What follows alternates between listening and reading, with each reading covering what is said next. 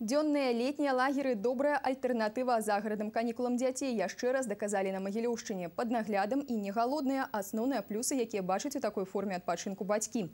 У школьнікаў крытэрыі іншыя дома і не сумна.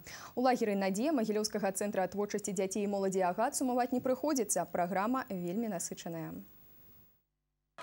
У спартыўнай зале шумна і горача і не толькі ад бегу. Азарт вітае ў паветры. На пляцоўцы сустрэліся два дзённыя раённыя лагеры «Легіён» і «Надзея».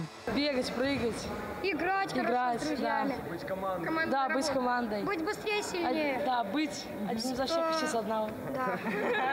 Сначала в МВД мы едем в институт, а Там вот после тоже, обеда, со- там тоже спорт, потом вот там спартакиада или еще что-нибудь да, а интересное. потом уже Новые друзья, новые знакомства, новые впечатления. Очень много, много друзей появилось.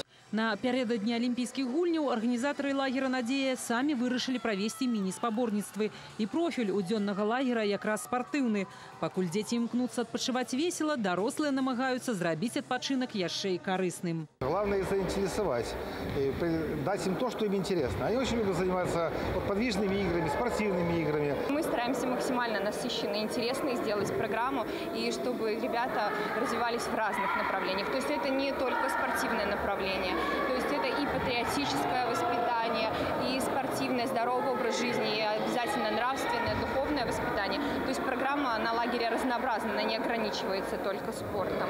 Сёлета на Магілёўшчыне летом будуць працаваць больш за 500 дзённых лагераў, 110 профільных і 100 лагераў працы і адпачынку. Гэта добрая альтэрнатыва кругласутачным базам. Кацярына Градніцкая, Юрыя Уласоў, навіны рэгіён.